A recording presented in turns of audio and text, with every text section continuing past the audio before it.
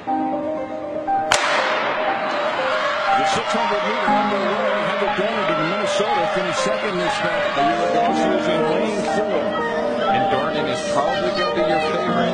She actually won the NCAA championships in 2006 in the 800, but she only won one Big Ten championship in the two years. Three laps in this event, 600 meters, three times around the 200 meter track.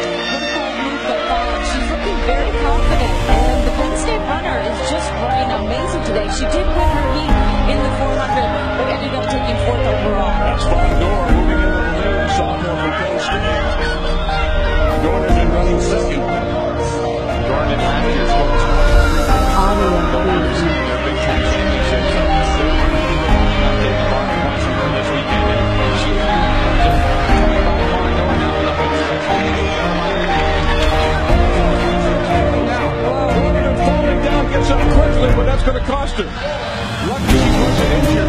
Her teammate gets right to the front, though.